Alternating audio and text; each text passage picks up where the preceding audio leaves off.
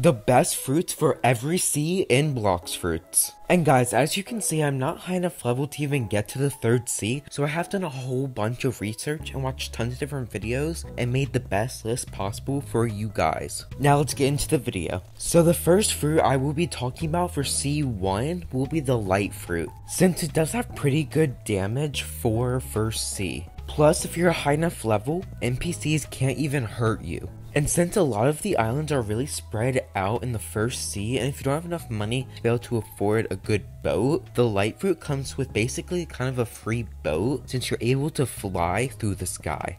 The next fruit is the smoke fruit since it has really low cooldown so you can do more damage with less amount of time. With the smoke fruit you can also fly around and while you're flying around you can also do damage to NPCs with like things that fall from the sky as you're flying. So it's really good if you're just flying over the mobs and rounding them up since it can do damage while you're flying over them. And smoke is actually cheaper than light, so I would actually recommend smoke a little more than light if you're first starting off. And guys, for the first non-Logia type, I would recommend Buddha, since it's really good for grinding, and since you're bigger, you have more area to attack with. It's also really good if you're planning on using your combat or sword to attack with. Now we are moving on to the second sea. The first fruit would be leopard, especially if you're looking to PvP a lot. Leopard can be okay for grinding, but it's mainly used if you're looking to PvP. Magma is also a really good one, especially when it's awakened, at least to the second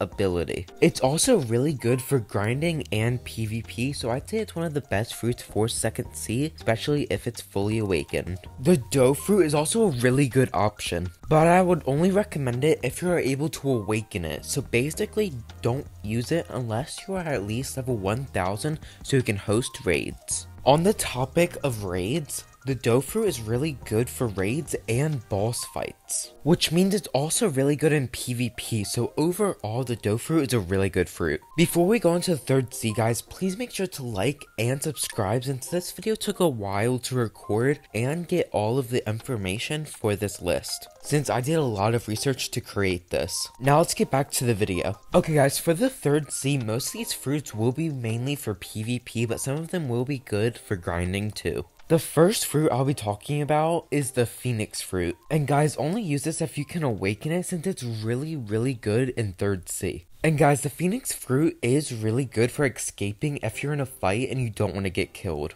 But guys, this is the best ability, or like one of the best abilities of the Phoenix Fruit. You can heal your teammates, which is a really good move that you're able to do during PvP or even boss fights. And guys, this makes the Phoenix Fruit really good for boss fights and raids with your teammates. And guys, once again, there is Buddha, since Buddha is one of the best fruits for every single sea in Blox Fruits. Since it can be used for PvP and grinding on every single sea. And like most of the fruits on this list for the third C, it's obviously best when awakened. And guys, if you're mainly just looking to PvP, there is Leopard, since it's really good to PvP, but guys, please make sure your stats are good for PvPing. And guys, some other really good fruits for PvPing that aren't part of the ones I've already mentioned are the Dark Fruit, the Rumble Fruit, and the Venom Fruit, since they all are really good to attack multiple people at once. Guys, before you click off this video, if this video hits 70 likes, I will be posting a video ranking all the best grinding fruits S tier to D tier. So guys, make sure to like this video. Okay guys, this is the end of the video. Make sure to like, subscribe, and comment down below which fruit you have been using for each sea. Have a good day.